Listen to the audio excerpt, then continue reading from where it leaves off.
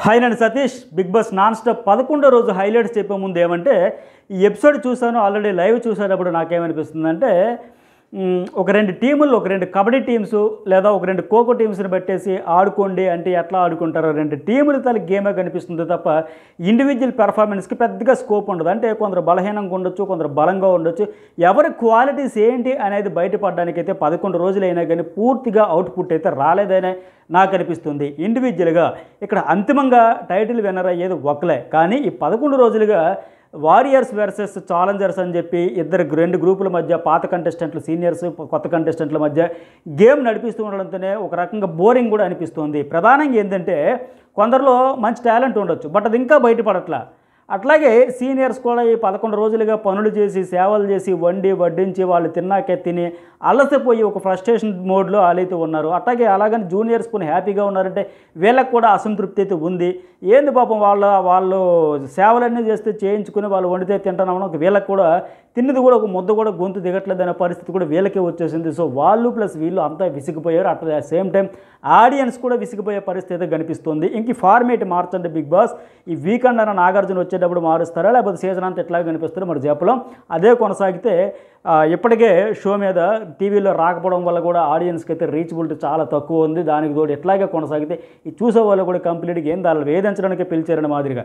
ఇప్పటికే ఒక కంటెస్టెంట్ పాత కంటెస్టెంట్ ఒక మాట అన్నట్టుగా సెకండ్ హ్యాండ్ కంటెస్టెంట్స్ అయిపోతున్న మాదిరిగా పాపం. ఇప్పటికే సీనియర్స్ మళ్ళీ రావడమే తప్పని మాదిరిగా వాళ్ళని కూడా విపరీతమైన ట్రోలింగ్ విపరీతమైన కామెంట్స్ చేస్తున్నారు. ఓఎల్ఎక్స్ బ్యాచ్ ఇట్లా ఇట్లా. పాపం బయట చూస్తే అట్లా ఉంది ఓఎల్ఎక్స్ బ్యాచ్ అని అంటే గిట్టన వాళ్ళు అట్టా ప్రచారం చేస్తూ ఉన్నారు. పని హౌస్లో ఏమైనా హ్యాపీగా ఉన్నారు ఆడుతున్నారు ఎంజాయ్ చేస్తున్నారు చిల్ బ్రో అన్నట్టు ఉన్నారంటే అది కూడా లేదు. సేవలు చేయడానికి వచ్చామో స్లేవ్స్ మాదిరిగా వచ్చామన్న మాదిరిగా వాళ్ళు విసుక్కుంటున్నారు. అయితే ఇలా ఉంది. మొత్తానికి ఇండివిజువల్గా ఆడుకునే మాదిరిగా ఇక వీలైనంత వేగంగా ఈ ఫార్మేట్కి వాళ్ళు ఆ గ్రూప్ వెర్సెస్ ఈ గ్రూప్ కాకుండా సోలో గేమ్స్ సోలో పర్ఫార్మెన్స్ చేసుకునేటట్టుగా ఇండివిజువల్గా ఆడుకునేటట్టుగా ఆ ఓన్ టాలెంట్ ఏదైతే ఉందో అది బయటపడే మాదిరిగా ఎవరిలో ప్లస్ ఏంటి మైనస్ ఏంటి అట్లా గేమ్ డిజైన్ మారిస్తే బెటర్ ఏమో నాకైతే అనిపిస్తుంది. మరి మీకేమనిపించిందో చెప్పండి. ఇక స్రవంతి బిందు మాట్లాడుకునేటప్పుడు అఖిల్ కంటే అజయ్ ఆలోచించే విధానమే కొంత బెటర్గా ఉంటుందని స్రవంతి అయితే బిందుతో చెప్పుద్ది.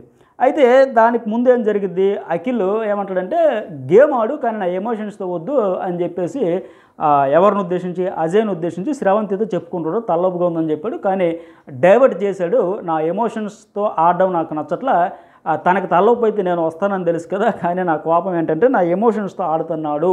అదే నా కోపం ఉంటే అజయ్ని ఉద్దేశించి శ్రవంత్తో తన బాధ ఏదైతే చెబుతాడు అఖిల్. అయితే ఆ తర్వాత శ్రవంతి వెళ్ళి మళ్ళీ వాళ్ళిద్దరు తన ఫ్రెండ్స్ కదా అఖిల్ అండ్ అజయ్. అజయ్ దగ్గరికి పోయి ఇట్లా నువ్వు డైవర్ట్ చేసావా? అంటే మీ గ్రూపు వేరు వాళ్ళ గ్రూప్ గేమ్ కదా ఆడుతున్నాం కదా. సో నువ్వు డైవర్ట్ చేసావా? మీరు అందరూ ఆ గేమ్ గురించి టాస్క్ గురించి బొమ్మలు ఎట్లా స్మగ్లింగ్ చేయాలి ఎట్లా అడ్డుకోవాలి ఈ టాస్క్ గురించి మీరు డిస్కస్ చేస్తుంటే అఖిల్ వచ్చాడని చెప్పి నువ్వు కావాలని డైవర్ట్ చేయాలి హెడేక్ ఉందని చెప్పావా? అని తను అంటున్నాడు అఖిల్ అట్లా అంటున్నాడు బాధపడుతున్నాడని చెప్పేసి శ్రావంతి వచ్చి అజయ్ని అడిగితే చాలా లైట్గా ఆడి బాగుందా పిచ్చి పిచ్చి మాటలు మాట్లాడుతుండు. గేమ్ వేరు ఎమోషన్స్ వేరు. ఇంత చిన్న గేమ్ కోసం ఎవడైనా ఎమోషన్స్తో ఆడతాడా ఎమోషన్స్తో ఆడేంత గేమ్ ఇదేనే లైట్ వల్ల తీసి పడేశాడు. అయితే నాకేమనిపిస్తుందంటే ఇక్కడ అజయ్ ఖచ్చితంగా చిన్న చిన్న విషయాలకు స్పందించేది కానీ ఇట్లా ఎమోషన్స్తో ఆడుకునే పర్సన్ కాదు అనేది ఈ పది రోజులు పదకొండు రోజుల అబ్జర్వేషన్లో నాకు అనిపించింది. అతను చాలా టాలెంట్ ఉంది కానీ బయట పడట్లా. ఎందుకు పడట్లేదంటే ఆయన రెండు రకాలుగా గేమ్ ఆడాల్సి వస్తుంది. ఒకటి తన జూనియర్స్ టీంలో ఉన్నాడు కనుక ఈ పదకొండు రోజులుగా ఆ టీము వర్సెస్ ఈ టీము కనుక ఆ టీం పరంగా టీంలో ఉండే ఆడాల్సి వస్తుంది. సోలో పర్ఫార్మెన్స్ బయటపడేదానికి ఎక్కువ స్కోప్ రావట్లే. ఇండివిజువల్ టాస్క్లు కానీ ఇండివిజువల్గా ఇట్లా వచ్చి ఉంటాయి. ఇంకొకటి ఏమంటే అఖిల్తో దోస్తాన ఉంది కనుక ఈ ఫ్రెండ్షిప్ వల్ల ఆయనతో కూడా ఆడాల్సి వస్తుంది. మరి బయట పడట్లేదు కానీ ప్రస్తుతానికైతే కొనసాగుతూ ఉంది వీళ్ళ ఫ్రెండ్షిప్ అయితే ఇక్కడ తెలివిగా ఎవరు ఆడుతున్నారు అంటే మళ్ళీ మరొక ఈ సీజన్లో కూడా మరొక సోహెల్ కాబోతున్నాడా అజయ్ అని కూడా అనిపిస్తుంది. ఎందుకంటే అక్కడ అఖిల్ అట్లా లాక్ చేస్తున్నాడు ఆయన. ఆ ఫ్రెండ్షిప్ ఆ ఎమోషను ఆ బాండింగు అలకలు ఇట్లా కావాలని మళ్ళీ ప్యాంపర్ చేయడం అలగడం మళ్ళీ ప్యాంపర్ చేయడు. ఆ ప్యాంపరింగ్ చేస్తానను ప్రేమ చూపిస్తాను కన్సర్న్ చేస్తానని ఆయన మీద మళ్ళీ ఆయనకు తెలిసే మాదిరిగా చాలా తెలివిగా ఆడతాను ఆడతానని అనుకుంటున్నాడేమో కానీ అది మాత్రం ఖచ్చితంగా వర్కౌట్ కాదు. మరో సోహెల్ అవుతాడు మరో గ్రూప్ గేమ్లో అఖిల్ కూడా నష్టపోతాడు తప్ప ఇట్లా అయితే వర్కౌట్ అయ్యే పరిస్థితి ఉండదు ఇక్కడ. ఎందుకంటే ప్రతిదీ గమనించేస్తారు ఆడియన్స్ క్లియర్గా తెలిసిపోతుంది అక్కడ. ఎందుకు ఈ మాట అన్నానంటే అదే తర్వాత వచ్చి క్లారిఫికేషన్ ఇస్తాడు నాకు నిజంగా తలనొప్పి ఉంది రాబోయ్ లైవ్లో కూడా ఇక్కడ మనకి రెగ్యులర్ వెబ్సైట్లో కూడా.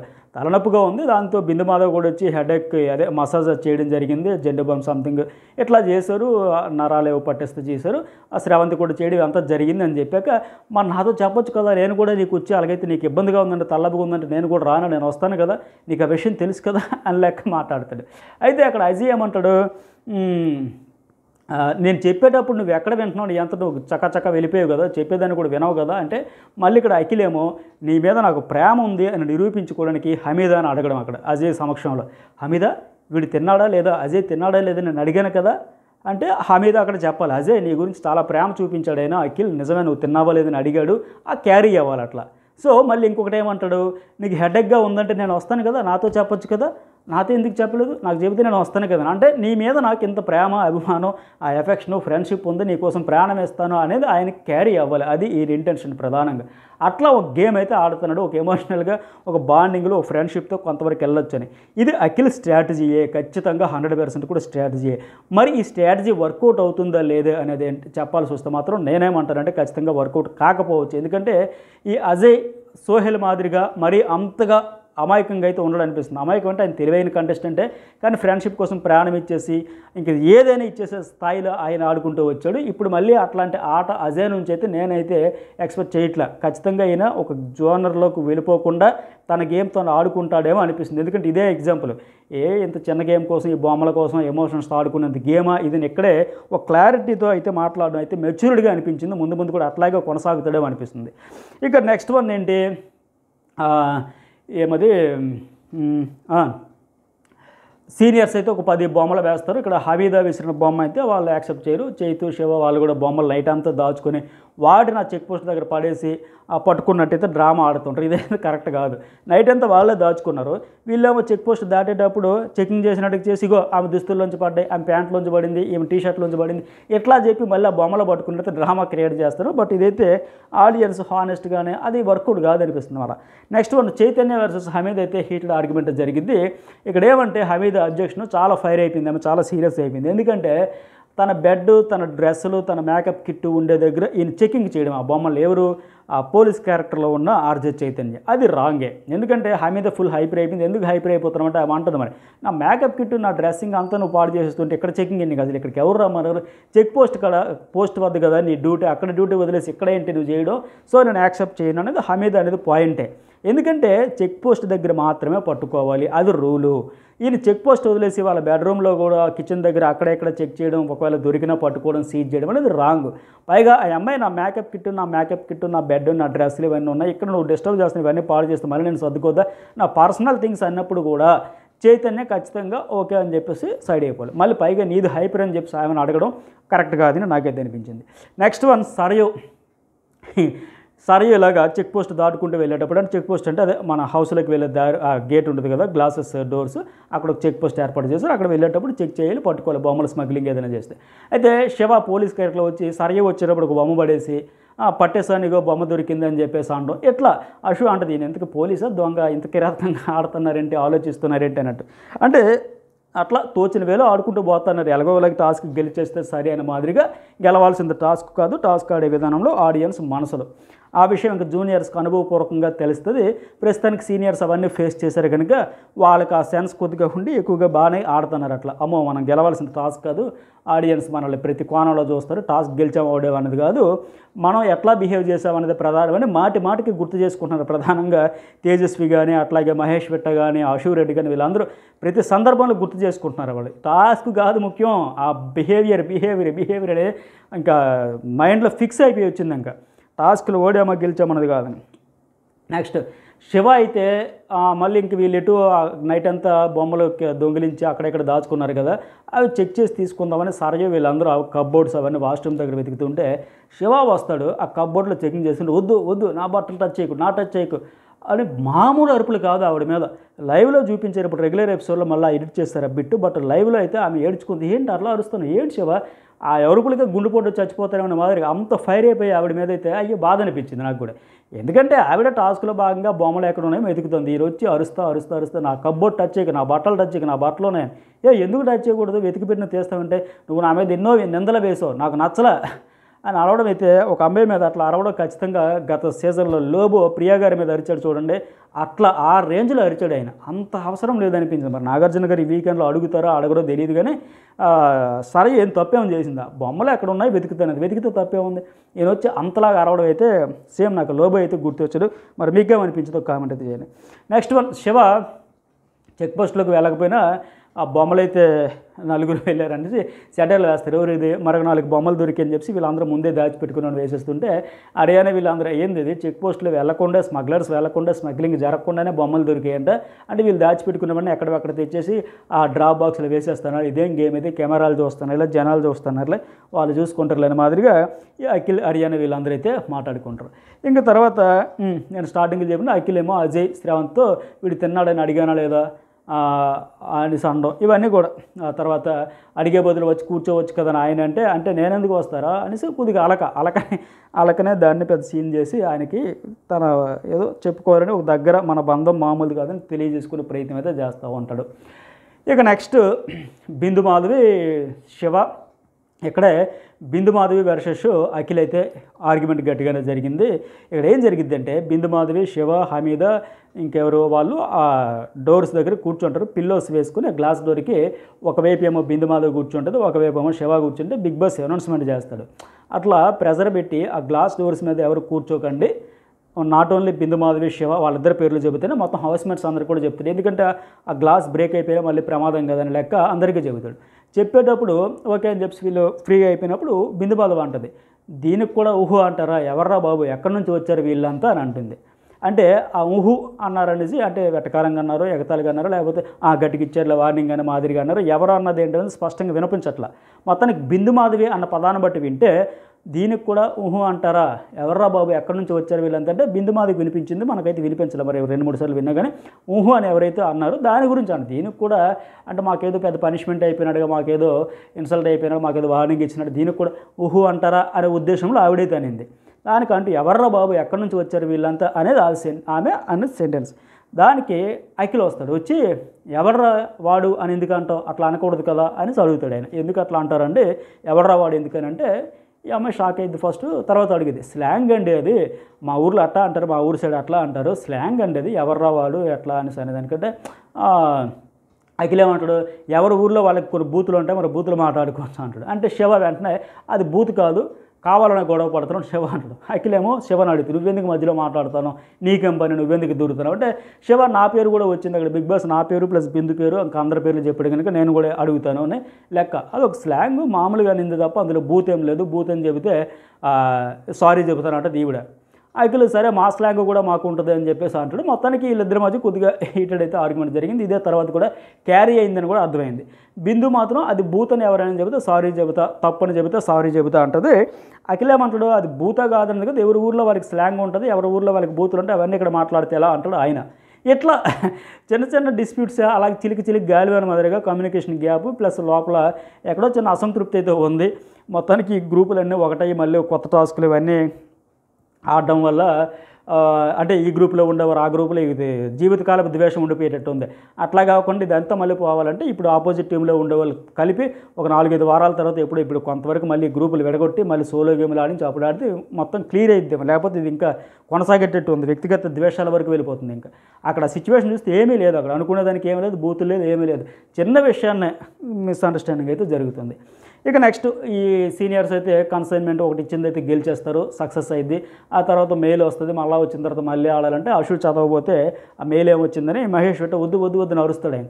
ఏ ఎందుకు శివ అడుగుతాడు? ఎవరైనా చదవచ్చు ఏ కంటెస్టెంట్ అని చదవచ్చు. అంటే అంటే వాళ్ళ ఉద్దేశం ఏంటి మహేష్ పెట్టాలి మనకు వచ్చిన అసైన్మెంట్ అది స్మగ్లర్స్గా మనం ఏదైనా చేసుకుంటాం. మన హింట్ వాళ్ళకి ఇవ్వద్దు. మన టార్గెట్ ఎంత? బిగ్ బాస్ ఎన్ని బొమ్మలు స్మగ్లింగ్ చేయాడు అనేది హింట్ కదా. అది నువ్వు ఓపెన్ చేసాక నువ్వు చెప్పాల్సిన అవసరం లేదు. మనకు మన గోప్యంగా మనకు మన టార్గెట్ ఎంత వాళ్ళకి తెలియకపోతే మన టాస్క్ ఈజీ అయిద్ది లెక్క మహేష్ ఇంటెన్షన్ బట్ శివ ఏమంటాడు? ఏమది కంటెస్ట్ కంటెస్టెంట్ అన్నాక ఎవరైనా చదవచ్చు. హౌస్లో వాళ్ళే చదవాలి వీళ్ళే చదవకూడదు లేదు కదా.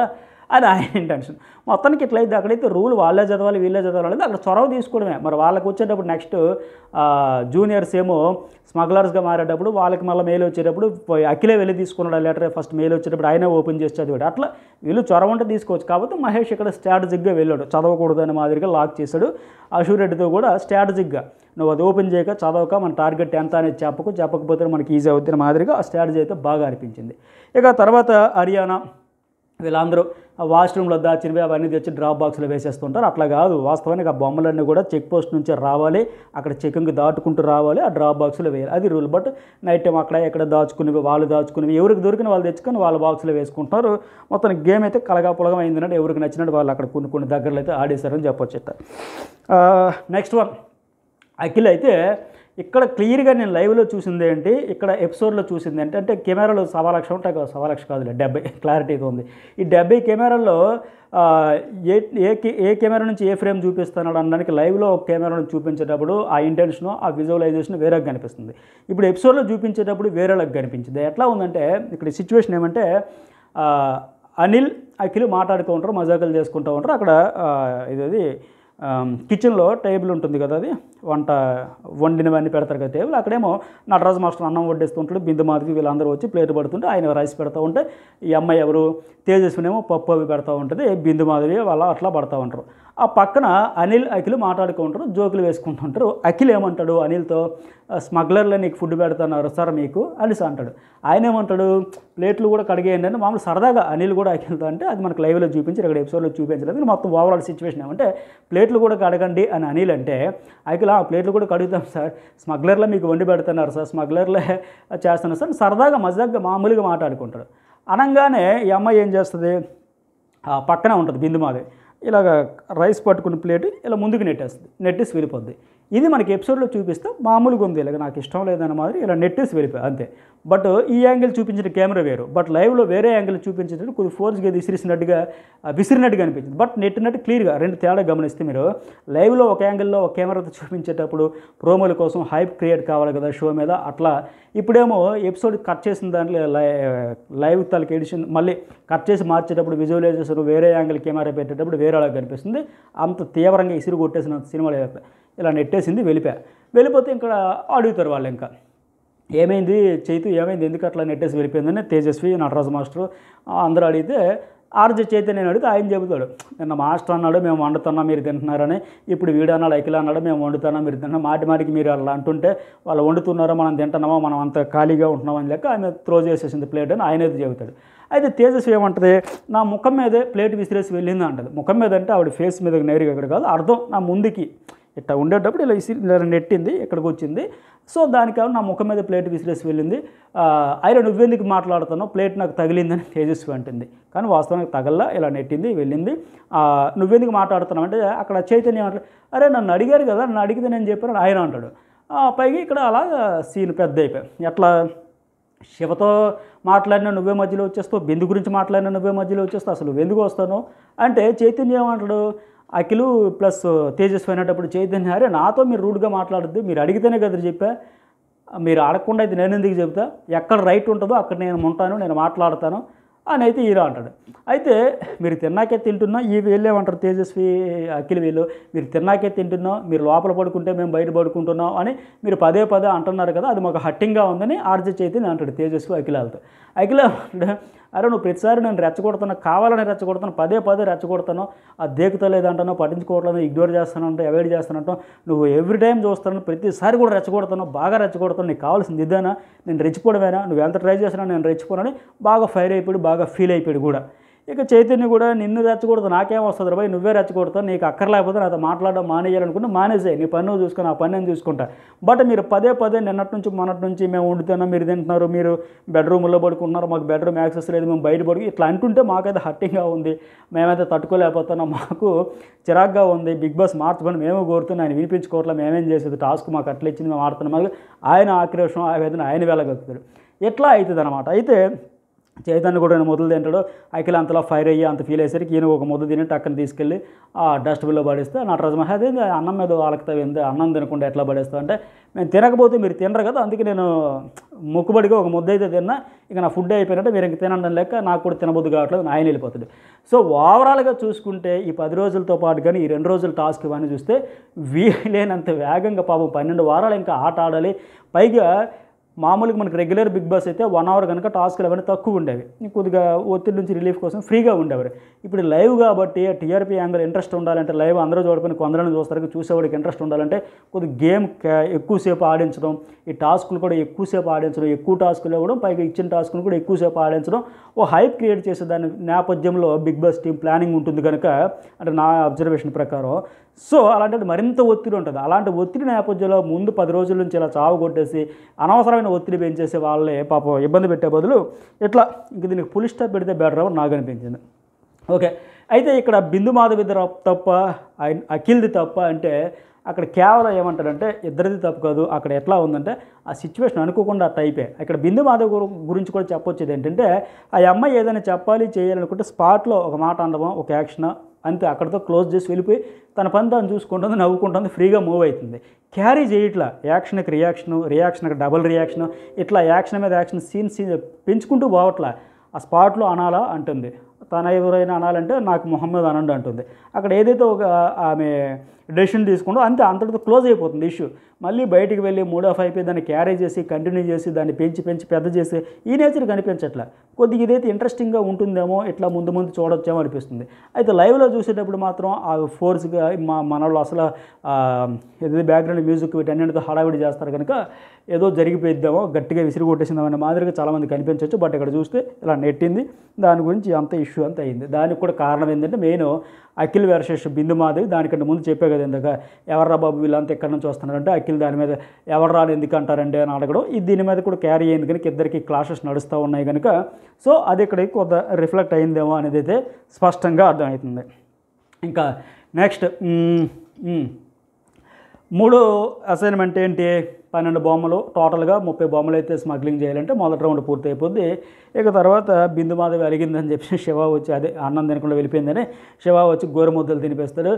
వాళ్ళని చూసి చైతన్య కూడా అరే నాకు ఆకలేస్తుంది వెళ్ళిపోతున్నాను అట్లా మరి అక్కడ తినకుండా వదిలేసినందుకు నిజంగా ఆకలేసి వెళ్ళి తిన్నాడా? లేకపోతే ఇక్కడ ఎదురుగా ఒక పర్సన్ తింటుంటే తనకు ఆకలేసిందో మనకు తెలవలేదు కానీ మొత్తానికి తింటుంటే నోరు ఊరిందో ఆకలేసిందో మొత్తానికి వెళ్ళిపోతాడు. అయితే శివ ఎక్కడైతే లోపల మ్యూజిక్ స్టార్ట్స్ అని చెప్పేసి పండగ చేసుకుని ఉంటాడు. ఎందుకంటే వచ్చినప్పటి నుంచి బిందు బిందు బిందు అని అయితే ట్రై చేస్తున్నాడు. పలవరింతలు ఫ్లట్టింగ్ అయితే ఒక ప్రయత్నం చేస్తారు అట్లాంటిది గోరుమొదలు అంత ప్యాంపరింగ్గా ప్రేమగా ఆమెకి తినిపించే అవకాశం వచ్చినందుకైతే ఖచ్చితంగా శివ అయితే లోపల కోయి డ్యాన్సులన్నీ చేసేసి ఉంటాడు.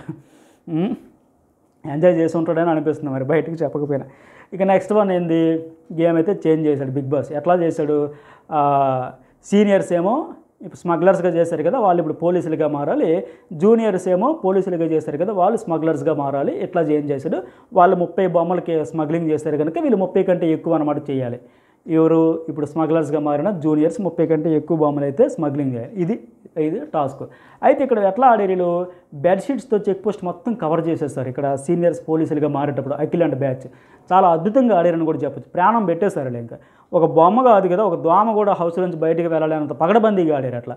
ఎట్లా ఆడారంటే ఇక్కడ శివ అఖిలేంద్ర తోపులాడేది. వాస్తవానికి ఏం చేశారంటే బెడ్షీట్లు తెచ్చి ఒక మూడు బెడ్షీట్లు తెచ్చి ఆ గ్లాసెస్ ముందు అటు ఇటు ఏమో హమీదా ఒకవైపు సరయో ఒకవైపు ఉండి రెండు బెడ్షీట్లు నిలువెత్తిన అడ్డంగా పెట్టేసి ఇలా పట్టుకుని ఉండిపోయారు అంతే. అవి ఇది బొమ్మ ఇసరాలన్నా సరే ఆ బెడ్షీట్ తాగి పడిపోద్ది. ఆ బెడ్షీట్లకు ముందు హర్యానా అఖిల్ తేజస్వి ఇంకొకరు ఎవరబ్బా? వాళ్ళకి హర్షు వేల నలుగురు ఇక్కడ ముందు కాపలా కాస్తే హమీద సరయు ఆ బెడ్షీట్లు రెండు బెడ్షీట్లు నిలువెత్తిన పట్టుకుంటే దీని తర్వాత మళ్ళీ రెండంచెల భద్రత అనే మాదిరిగా ఈ బెడ్షీట్స్ వెనక మరొక బెడ్షీట్ పట్టుకొని మహేష్ పెట్టయ్య అండ్ నటరాజ్ మాస్టర్. మొత్తం వీళ్ళ టీం అంతా అక్కడ పగడబందీగా మొత్తం ఒక మూడు నాలుగు బెడ్షీట్లతో కవర్ చేసేసారు ఇంకా. ఇంకా మ్యాక్సిమం అసాధ్యమైన మాదిరిగానే చెప్పినట్టుగా బొమ్మ కాదు కదా ఒక దోమ కూడా బయటకు పోలేదనే మాదిరిగా పగడబందీగా ప్యాక్ చేసేసారు ఇంకా. రెండు అంచెల భద్రతతో క్లోజ్ చేసేసారు చెక్ పోస్ట్ని. ఇట్లాంటి రియల్గా ఇలాంటి చెక్ పోస్టులు ఉండండి భలే ఉండేది. అయితే ఈ బెడ్షీట్ ఐడియా ఫస్ట్ ఇంప్లిమెంట్ చేసింది వాళ్ళే జూనియర్సే వాళ్ళు పోలీసులుగా ఉండేటప్పుడే. కాకపోతే వాళ్ళు మొక్కుబడిగా మామ అన్నట్టు ఒక బెడ్షీట్ తెచ్చారు అది కూడా వాడాలా వద్దిన మాదిరిగా పూర్తి స్థాయిలో దాన్ని వినియోగించుకోలే. ఐడియా వాళ్ళదే. వాళ్ళు ఆ ఐడియాని టెన్ పర్సెంట్ వాడితే వీళ్ళు టూ హండ్రెడ్ పర్సెంట్ ఇంప్లిమెంట్ చేశారు. సూపర్ సక్సెస్ అయిపోయారని కూడా చెప్పొచ్చు ప్రస్తుతానికి. అది కూడా ఎట్లా అంటే వాళ్ళు కూడా పాపం స్టార్టింగ్ నుంచి అట్లా కవర్ చేసుకోలే. ఒక కొన్ని బొమ్మలు పోయినాక ఒక రెండు అసైన్మెంట్లు వాళ్ళు కూడా సక్సెస్ అయిపోయాక అప్పుడు మూడో బెడ్షీట్లు తెచ్చి ఇంకా అప్పుడు గేమ్ అయితే చాలాసేపు ఇంకా వాళ్ళకి ఇంకా సాధ్యం కాదు. ఇంకా మనం కష్టం ఓడిపోతాం. అంత రెండు అంచెల భద్రత మూడు బెడ్షీట్లు నాలుగు బెడ్షీట్లతో అంత కవర్ చేస్తే ఎట్లా అయ్యిద్ది అంటే ఒక రెండు రెండు టాస్కులు ఫెయిల్ అయినాక వాళ్ళు కూడా సక్సెస్ అయినాక జూనియర్స్ అప్పుడు ఇంకా సీనియర్స్కి జ్ఞానోదయం అయ్యే ఇంకా ఈ బెడ్షీట్ వర్కౌట్ అయ్యేటట్టు ఉందని మొత్తం అంత పగడబందీగా చేశారు. అయితే ఇక్కడ శ్రవంతికి హెల్త్ బాగాలేదు ఆమె సైడ్ని కూర్చుంది. సడన్గా ఒక బొమ్మ విసిరేసరికి టెన్షన్లో తట్టుకోలేక వెళ్ళి ఆ బొమ్మ తీస్తే వీళ్ళు అడుగుతారు ఎందుకు మరి శ్రవంత్కి ఏమైంది? ఒంట్లో బాగాలేదనక మరి ఆమె ఎట్లా వస్తుందని క్యాజువల్గా అడిగిన దానికి ఆ అమ్మాయి ఓ ఫీల్ అయిపోయి చాలా ఫైర్ అయిపోద్ది. వస్తానికి ఒంట్లో బాగాలేదు తెలుస్తుంది. ఫేస్ చూస్తేనే డల్గా ఉంది ఫీవర్ మరి ఏమో తెలియదు కానీ బట్ వీళ్ళందరూ స్విమ్మింగ్ పూల్ ఎందుకు దూకో మరి ఎంతసేపు ఒంట్లో బాగాలేదు అన్నా కదా అడిగితే నా హెల్త్ గురించి మీరు ఎట్లా కామెంట్ చేస్తారో ఆమె చాలా ఫీల్ అయిపోయి ఫైర్ అయిపోయింది. బట్ వాళ్ళు కూడా అడిగింది ఏదో దెప్పు పడద్దామని అట్లా కాదు. ఎంతసేపు హెల్త్ బాగాలేదని గుర్తుంది. సడన్గా ఏంది బొమ్మ కోసం పరిగెత్తి స్విమ్మింగ్ పూల్లో దూకింది. హెల్త్ బాగాలేనప్పుడు కూర్చోవచ్చు కదా ఎందుకు అంత అవసరమైన లెక్క అన్నారు. ఎవరు? సరయు తేజస్వి వీళ్ళందరూ హర్యానా వాళ్ళు. ఆ శ్రవంత్ అయితే చాలా సీరియస్ అయిపోయింది దాని గురించి. నటరాజు వస్తున్నాడని కంగారులో లేదు దూకేసా అని చెప్పి ఆవిడే చెప్పింది. అయితే ఇక్కడ శివ రాపాక కొన్ని బొమ్మలు వేసడం వీళ్ళు తెచ్చి బయట సిట్టు పడేసుకోవడం ఇవన్నీ జరిగింది. అయితే ఇక్కడ ఒక డేంజరస్ సీన్స్ రెండైతే జరిగాయి. ఆ శ్రీరాపాక వెనక నుంచి ఆ చెక్ పోస్ట్ ఎల్లో లైన్ ఉండే దగ్గర ఆమె ఇట్లా నిల్చుంటే బొమ్మలు పట్టుకొని వెళ్ళాల వద్దునుంటే హర్యానా వెనక చైతన్యతో మజాకులు ఆడుకుంటూ వచ్చి వచ్చి వెనక నుంచి ఇలా నెట్టేసింది.